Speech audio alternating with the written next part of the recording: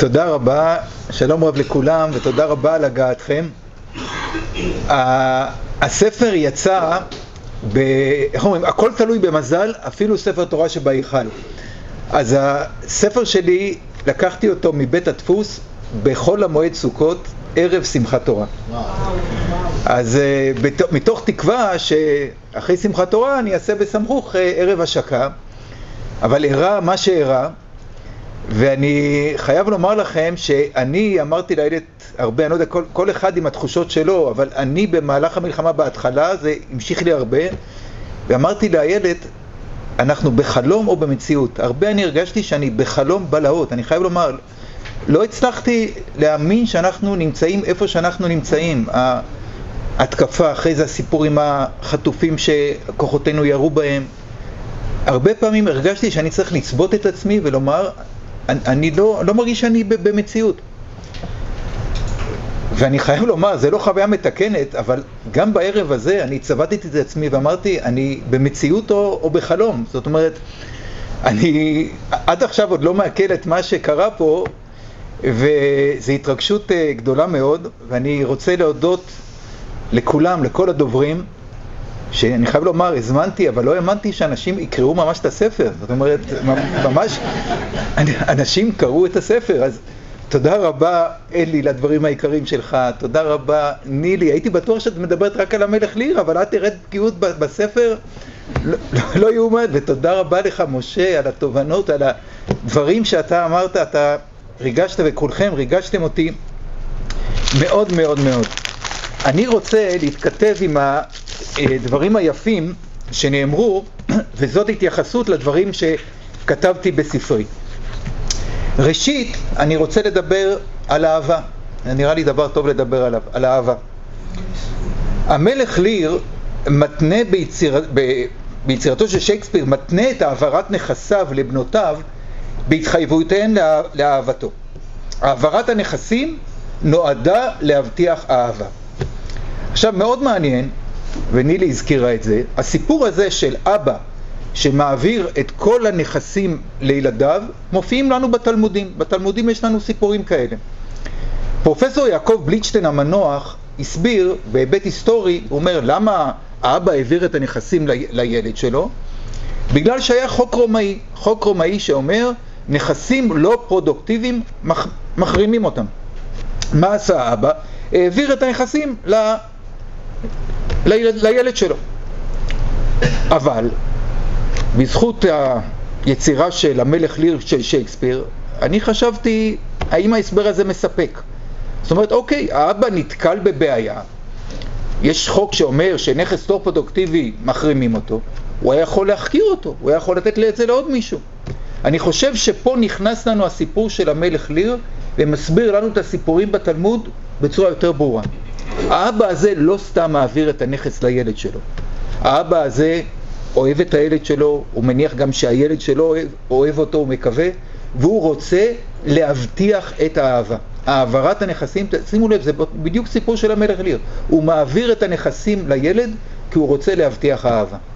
הטרגדיה, שגם אצל המלך ליר, הבנות שלו אכזבו אותו. הם לא נתנו לו אפילו להיכנס לנכסיו. המלך ליר מעביר את הנכסים לבנות והן מדירות אותו מהנכסים. גם בתלמודים. האבא מעביר את, את כל הנכסים לבן, והבן מסרב לזון אותו. זה, זה, זה פשוט טרגי.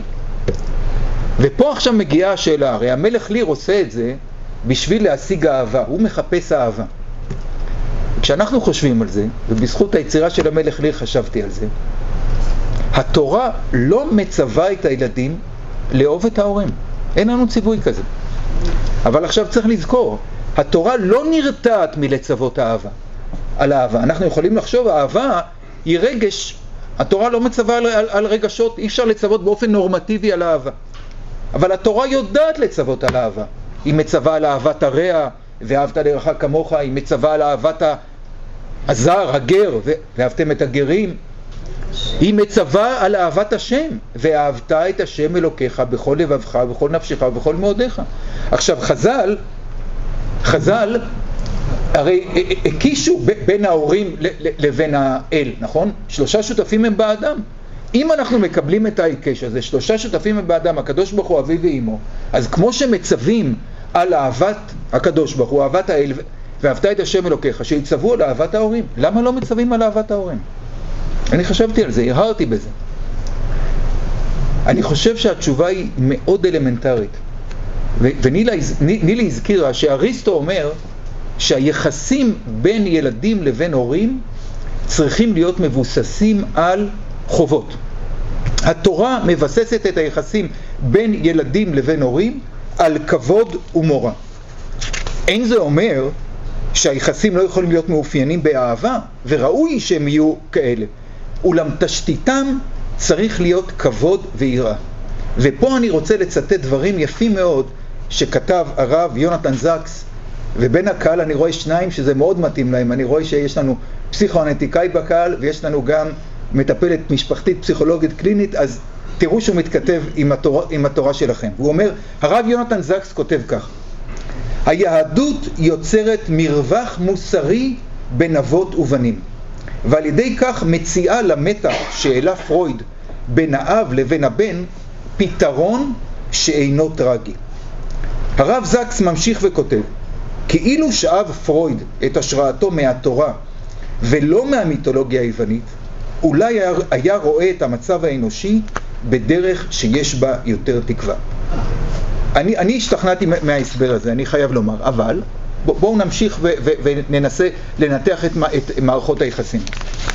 התורה דורשת גם כבוד ויראה מהקדוש ברוך הוא, כן? כבד את השם מעונך, בוא תיראו, אבל לגבי הקדוש ברוך הוא התורה אומרת עוד משהו, היא אומרת ובו תדבקון, ובו תדבקון, חז"ל מפרשים שהאדם נדרש לחקות את האל. מאור רחום, הפתה רחום, אתה צריך לברר את המידות שלו, אתה צריך להידבק בו, להידמות לו. אבל, אם אנחנו נחשוב, אין לנו הוראה דומה כלפי ההורים. לא נאמר לנו להידמות להורים. דרך אגב, בתרבויות שונות זה מופיע. בתרבות הסינית יש תפיסה שאומרת כך, העומד במעמד אבותיו, המהלך בהלכותיהם ומנגן את מנגינתם, הלא כל אלה תכלית כיבוד אב. אין לנו אמירה כזאת בעולם היהודי, אנחנו לא נדרשים לנגן את המנגינות של ההורים שלנו. עכשיו עולה, ובואו נחשוב, ההשוואה הזאת שעושים חז"ל בצורה כל כך משמעותית, שלושה שותפים הם באדם, הקדוש ברוך הוא אבי ואימו, היא קשה שבעתיים. א', היא קשה מבחינה תיאולוגית, איך אפשר להשוות אדם לאל, ליצור ביניהם שותפות. היא גם קשה בפעם שנייה, אנחנו רואים שמערכת היחסים בין, הקד... בין האדם לבין הקדוש ברוך הוא אינה דומה למערכת היחסים שבין האדם לבין הוריו. אז בספר שלי כבר הזכירו את זה, אני, אני ניסיתי לטעון, רציתי לטעון, שההשוואה הזאת שמקורה בחכמי ארץ ישראל באה מהשפעה תרבותית, הם ראו את זה. התרבות היוונית הרומית רואה את ההורים כאל, זה מופיע אצלהם חזק מאוד, ובמידה מסוימת הם התלהבו מזה. הם התלהבו מזה כיוון שבכך הם האדירו את מעמד ההורים, הם העצימו גם את מחויבות הילדים להוריהם. מי שיראה, אני ביקשתי לטעון שחכמי בבל קצת נרתעו מהעצמה הזאת וביקשו למתן אותה. עכשיו בואו נמשיך על, על uh, אהבה. נילי הזכירה גם בקשר, ב, ב, ביצירה של המלך ליר, שיש שמסבירים את האהבה בפן רומנטי. זאת אומרת שזה גם אחד מהבעיות של המלך ליר ובנותיו, ההכנסה של המימד הרומנטי ליחסים בין הורים לילדים. גם הדבר הזה מופיע אצלנו במקורות. אותו סיפור של רב אסי עם האימא שלו, לרב אסי הייתה אימא שקצת ירדה מדעתה ככל הנראה, ובאיזשהו שלב הוא מבין שמערכת היחסים ביניהם הולכת למסלול לא כל כך טוב, והוא הבין את זה כשהיא באה ומבקשת ממנו שהוא ימצא לה בעל נאה כמותו. וכשהוא שומע את המילה נאה כמותו, הוא תופס את רגליו ובורח מבבל לארץ ישראל. עכשיו הסיפור הזה הוא, הוא דיאלקטי, זה מה שניסיתי לטעון ב, ב, ב, ב, בספר, כיוון שהטרגיות שהיא אחרי זה רודפת אחריו לארץ ישראל, ולא עלינו, היא מתה בדרך, ואז הסיפור מסתיים בצורה מאוד מאוד אניגמטית, לא ברור מה אומר רב אסי, הוא אומר, אם הייתי יודע לא הייתי יוצא. ועכשיו השאלה, מה הוא מתכוון כשהוא אומר אם הייתי, לא, לא הייתי יוצא? יש כאלה שמסבירים שהוא יצא לקראתה מארץ ישראל לקבל את פניה, הוא אומר לא הייתי יוצא לקראתה, אבל יש שמסבירים, אם הייתי יודע לא הייתי יוצא, לא הייתי יוצא את בבל. ומכאן מופיע המחלוקת בין הפוסקים, בין הרמב"ם לבין הראב"ד, מה באמת הגישה, העמדה הנורמטיבית צריכה להיות כלפי ילד שלא עלינו, יש לו הורה שהשתתה. הרמב"ם אומר, מניח אותו, הוא שם גבול למחויבות של הילד, אבל הראב"ד בא ואומר, זה הזמן שבו אתה צריך להתמסר אה, להורה. עכשיו, אה, אני, אני רוצה גם לגעת ב, ב, בנושא שנגע בו אה, אה, פרופסור משה הלברטל, זה בנושא של חובת הציות. חובת הציות להורים, הוא התייחס הרבה לנושא של הנישואים, אני רוצה לדבר באופן אה, יותר כללי, אני גם, גם אגע בהיבט של הנישואים. מאוד מעניין שחכמי ארץ ישראל, עם כל ההדרה של האלוהים, של ההורים, סליחה, נמנעו מלקבוע חובת ציות להורים. אבל עם הזמן חובת הציות נקבעה, ואני ביקשתי לטעון שהסיבה שהיא נקבעה זה מתוך מניעים דתיים, חברתיים, כאשר הקהילה היא כעת אין לה נאמנות דתית, אז משתמשים בהורים, בהיצמדות להורים על מנת לשמור על הנאמנות אה, הדתית, על מסורת ישראל סבא. אבל לא תמיד מדובר על הפעלת אמצעי דתי חברתי, וכאן אני רוצה לחזור לנושא שהעלה משה, הנושא של אה, חופש הנישואים של הבת. ופה יש שאלה נוראית שאני רוצה לקשר, אה, לקשר אותה לסיפור של המלך ליר. אבא אחד ציווה את הבת שלו, ציווה אותה לא להינשא כלל, לא, לא שהוא בוחר לה מישהו, אלא הוא אומר לה, את לא מתחתנת. והבת הזאת לא יודעת מה לעשות, היא מקבלת ציווי כזה מהאבא, והיא פונה אל פוסק. ככל הנראה זה הבן איש חי, החכם מבגדד במאה ה-19, והיא שואלת אותו, מה לעשות? אבא אומר לה לא להינשא. ועכשיו בוא נחשוב רגע על האבא הזה. הרי כשיש שאלה, שאלה הלכתית, אז אתה יכול לקרוא את השאלה ואת התשובה, אבל מה מסתתר מאחורי הציווי הנוראי הזה? אני חושב שמסתתר המגמה של המלך ליר. זאת אומרת, האבא הזה רוצה לשמור את הבת אצלו, הוא רוצה שהיא תהיה איתו, אני לא יודע אם ממניעים מאוד מאוד פיזיים, שהיא תשרת אותו, אולי ממניעים עוד יותר משמעותיים. הוא, הוא רוצה את אהבתה, והוא לא רוצה שאהבתה תינתן למישהו אחר. הוא אומר, את לא מתחתנת. ואז אה, אה, הבן איש חי עונה תשובה מדהימה, והוא אומר, אומר לבת, את באמת לא צריכה להתחתן. אומר, אם אני משווה את ההיררכיה הנורמטיבית, מצוות כיבוד הורים, מצווה מעשרת הדיברות, ולהינשא על, על פי האינטרפטציה ההלכתית, אין, אין, אין לה חובה. מי שיודע, על פי ההלכה, הגבר מצווה, לא, לא האישה. עכשיו, מה, מה שמעניין לראות זה את התגובה לפסיקה הזאת. הפוסקים מאוחר יותר, פוסקים יותר מה, מה, מהכיוון האשכנזי וגם פוסקים שנכנסו כבר לתקופה המודרנית, נזעקים על, על, על העמדה הזאת. עכשיו, שוב מעניין לראות את השיח, כיוון שאם הם נשארים בשיח של הנורמה ההלכתית מבחינה יורידית משפטית, יכול להיות שצודק הבן איש חי, יש לנו עשרת הדיברות מול חוסר נורמה הלכתית. אבל הארגומנטים שלהם הם, הם, הם כל כך יפים, והם באים ואומרים, לא יעלה על הדעת שהורה ימנע מאישה, והנה, ופה זה נכנס לדברים היפים שלך, איך שהוא בא ואומר, הם אומרים, לא יעלה על הדעת שהורה ימנע מביתו להקים משפחה, לדאוג לה למשענת, לממש את עצמה. עכשיו, אתה, אתה קורא את הדברים ואתה אומר, רוחות אחרים, אחרות נושבות פה. הרוחות של יכולת האישה למצוא את עצמה, לממש את עצמה.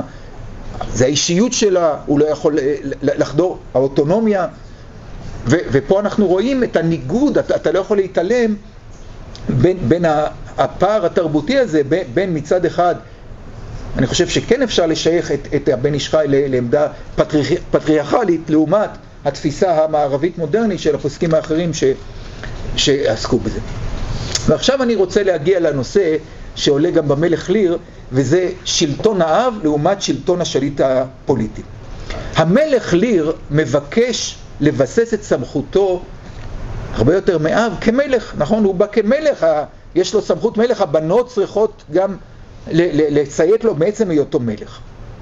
עכשיו, מאוד מעניין להיווכח שבעבר הכיוון היה הפוך. זאת אומרת, אנחנו אומרים, האב ליר מבסס את סמכותו בתור זה שהוא המלך ליר. אבל את, אתם יודעים שבתקופות קדומות מלכים ביקשו לבסס את סמכויותיהם מכוח זה שהם אבות לנתינים שלהם, וזה מאוד מעניין, ולזה יש שורשים מאוד עמוקים. בתרבות הסינית, קונפוציוס אומר, הוא אומר ככה, נדיר שתמצא בנים הנוהגים כיבוד הורים ואחים הנוהגים כיבוד אחים בוגרים, ועם זאת נוטים לערער על סמכות הבכירים בהם, זאת אומרת, המגמה היא שהאב הוא מקור הסמכות של השליט, הוא, הוא הכוח, כוח הציות. גם היסטוריונים, וזה דבר מאוד מעניין, באימפריה הרומית כוח השיטור, כל המחקרים אה, מוכיחים את זה, כוח השיטור היה מאוד מאוד קטן. לא, לא הייתה משטרה גדולה באימפריה הרומית. והרבה שואלים, איך יכול להיות אימפריה כזאתי שצריכה לשלוט בכל כך הרבה נתינים, איך זה שאין לה משטרה? והתפיסה אצל הרבה מאוד מההיסטוריונים היא שהאימפריה הרומית התבססה על שלטון האב. ברגע שאתה מבסס את אותו מושג שהמשפטנים מכירים, הפטריה פוטסטס, זאת אומרת שהאבא הוא כל כך חזק, אתה משריש את הציות, אתה כבר לא צריך משטרה. מאוחר יותר, בשנת 1618, מתפרסם באנגליה ספר מפרי עטו של ריצ'רד מוקאט בשם אלוהים והמלך, ובו נכתב שהנתינים הם ילדי המלך ועליהם לכבדו כפי שמכבדים אב ואף לציית לו.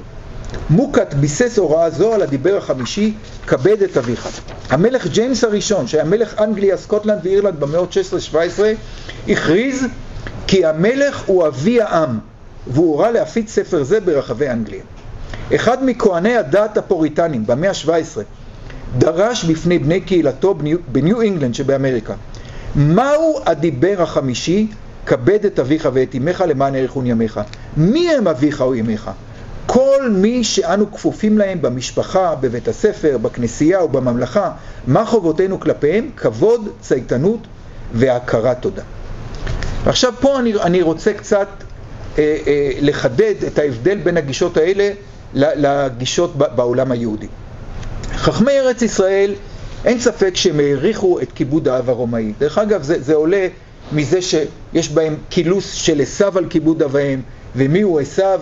עשיו הוא אדום והיא רומי. הם, הם מתארים את הסיפורים, מפליגים על סיפורי כיבוד אביהם, על דם הבנטינה, שדרך אגב אומרים, לא היה ולא נברא משל היה, אבל הם לוקחים את מי? את דם הבנטינה, דמות רומית. למה הם לוקחים בסיפורים האלה שהם יוצרים ושמים בו דמות רומית? כיוון שהם רואים את הרומאים, איזה מין כיבוד אביהם יש אצלהם, והם מעריכים את זה. אבל, ופה האבל מאוד גדול, הם לא רואים בכיבוד האב כאמצעי ליצירת סמכות פוליטית. זה לא האג'נדה שלהם. הם לא מבקשים כעת לסמכ... לבש... לבסס סמכות פוליטית דרך סמכות האב. הם רואים ערך בעצם הדבר, בעצם יצירת מעמד האב ויצירת המשפחתיות הזאת החזקה. אמנם הרמב"ם כן לוקח את הדבר הזה, וזה מאוד מעניין, הרמב"ם כותב שה... ההורים הם החלק הראשון בעיר, זאת אומרת הוא בהחלט, במורה הנבוכים הוא בהחלט שם את העניין אה, אה, של הסמכות הפוליטית כחלק מהאג'נדה של כיבוד ההורים, הוא גם ממקם את הלכות כיבוד אב ואם בספר שופטים, בהלכות ממרים, יחד עם ההלכות שעוסקות בסמכות החברתית, אבל, וזה מאוד חשוב, הוא לא נותן מעמד לאב, מעמד אב לשליט. האב מיוחד לראש המשפחה, עד כדי כך הוא שומר על ייחודיות האב, לדוגמה הוא מאוד מקפיד שהאח הגדול לא מקבל את מעמד האב, הוא משמר את מעמד האב כמעמד בפני עצמו. נראה לי לסיכום שניתן להכליל ולומר שבעולם היהודי המשפחה אינה אך אמצעי, אמצעי להקניית ציות וסמכות, יש לה קיום וערך בפני עצמה. ופה אני רוצה אה, להקריא קטע שוב מדבריו היפים מאוד של הרב יונתן זקס, והוא כותב כך: מה אומרת התורה עצמה על אברהם? התשובה מפתיעה ואף מרגשת. אברהם פשוט נבחר להיות אב, במשמעות שמו. בפסוק היחיד בתורה המסביר מדוע אברהם נבחר, נאמר כי ידעתיו למען אשר יצווה את בניו ואת ביתו אחריו, ושמרו דרך השם לעשות צדקה ומשפט, למען אבי השם על אברהם את אשר דיבר עליו. ממשיך הרב זקס וכותב, כל האירועים הגדולים בחייו של אברהם, ההמתנה לילד, הולדת ישמעאל, המתח בין שרה להגר, הולדת יצחק ועקדתו, כולם נוגעים לתפקידו כאב. היהדות, יותר מכל אמונה אחרת, רואה את ההורות כאתגר הנעלה ביותר. אברהם, גיבור האמונה, הוא פשוט אב. כדי לדעת את הודעתו של אלוהים, אומר הרב זקס, איננו זקוקים לפיזיקה תיאורטית. די לנו שנדע מהו להיות הורה. בהתוודענו לנס ההולדה אנו מתקרבים יותר מבכל דרך אחרת להבנת האהבה המביאה חיים חדשים לעולם, שהיא דרכו של אלוהים בבריאה. הרב זקס מתאר את ההורה שמתפעל מלידת ילדו. אני עסקתי בילד. הילד מטבע הדברים מתבונן ומסכם את פעילותיו של הוריו לאחר לכתם. יש ילדים שבעת הזו נוהגים לבקר את הוריהם ואף לחשוף, לחשוף פרטים אינטימיים לא נעימים מחייהם. הפסיכולוג יצחק הררי כינה תופעה זו כתסמונת חם, על שם חם שחשף את ערוות אביו, והוא כותב על כך, הפסיכולוג הררי, מי שמך לעשות כן? אכן, חובת כיבוד ההורים לפי החכמים כוללת גם את כיבודם לאחר מותם, והחובה הבסיסית של כיבוד ההורים לאחר מותם היא שמירת שמם הטוב. חכמי ארץ ישראל שהעצימו את מעמד ההורים, אף העלו את החובה להציל את ההורים לאחר מותם. והרבה מדברים, מה זה הצלת ההורים לאחר מותם? יש שמדברים על כך שיש בכוחו של הילד להציל את הורהו מדינו בעולם שמעבר, ועל זה יש הרבה פולמוס בעניין הזה, האם בכלל הדבר אפשרי. ויש עמדה אחרת שבאה ואומרת, מהי הצלת ההורים לאחר מותם? ההמשכיות של הילד. ההמשכיות של הילד שיש בה צמיחה, צמיחה שיש בה גם התחדשות, כי הילד, כמו שאמרנו, איננו צריך לנגן את מנגינת הוריו. גרעינו של הספר שלי הוא בעבודת הדוקטורט שכתבתי בהנחייתו הברוכה והמעולה של פרופסור ברכיהו ליפשיץ שנמצא כאן עמנו וזו הזדמנות נפלאה להגיד לו תודה רבה על הנחיה, תמיכה והכל. לידתה של עבודת הדוקטור, הדוקטור שלי הייתה עם פטירתה של אמי, אבל אין לי ספק שזרעיה נזרעו הרבה שנים קודם לכן עם פטירתו של אבי. חסרונם המחיש לי את עוצמת ההוויה ההורית. אמי גדלה בבית חסידי, ספוג תורה, והייתה מחנכת בכל נימי נפשה. אבי גדל במשפחה ירושלמית של צאצאי תלמידי הגאון מווילנה, ובבחרותו הפליג אל מעבר לים ולמד באוניברסיטת קולומביה שהיום נודעת לא רק בשל היותה בליגת הכיסוס של האוניברסיטאות הטובות בעולם. אין ספק שהפלגתו של הספר אל מחוזות תרבות שונים ממנו היא. אני רוצה להודות לרעייתי, אהבתי ואהובתי איילת, שאותה הכרתי לקראת סיום עבודת הדוקטורט, והיא כבר הקדימה ואמרה שהיום הוא יום הנישואים שלנו. איילת ליוותה בסבלנות את מלאכת השלמת הספר. בשלהי השלמת הספר, וגם זה כבר הקדים אל, אה, אליקים והזכיר, בשלהי השלמת הספר רצתי עם ילדיי שנמצאים כאן בפארק סן סימון וליבי נדם וצנחתי במורד השביל. ילדיי שהיו אז בני תשע ושבע הראו תושייה והזעיקו עזרה. מושיעיי, הגיעו תוך דקות ויחד עם אנשי רפואה נוספים הצילו את חיי. אדוני העלית מן שאול נפשי חייתני מיורדי בור. לסיום, אנו נמצאים במהלך מלחמה אכזרית, ומטבע הדברים מתמקדים במישור הביטחוני, הלאומי, המדיני והפוליטי.